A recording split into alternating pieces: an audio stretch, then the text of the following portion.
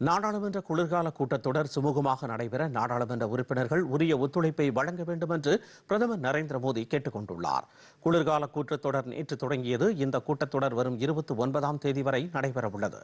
இந்த கூட்டத்தொடரில் பதினேழு அமர்வுகள் இருக்கும் என அறிவிக்கப்பட்டுள்ளது.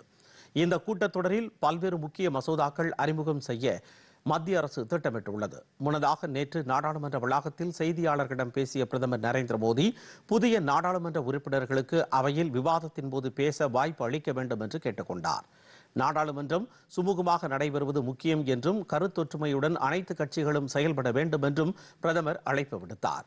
எழுபத்தி ஐந்தாவது ஆண்டு சுதந்திர அமிர்த பெருவிழாவை கொண்டாடும் நிலையில் ஜி இருபது நாடுகளின் அமைப்பிற்கு இந்தியா தலைமையேற்றுள்ளது.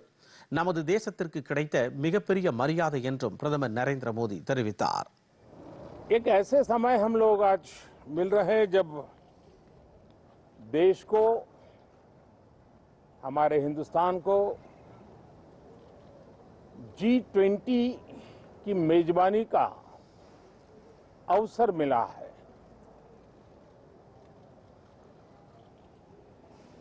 विश्व समुदाय में जिस प्रकार से भारत का स्थान बना है, जिस प्रकार से भारत से अपेक्षाएँ बढ़ी हैं,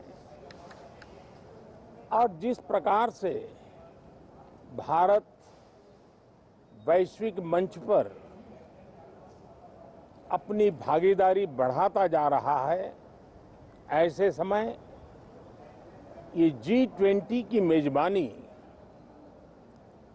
भारत को मिलना एक बहुत ही बड़ा अवसर है।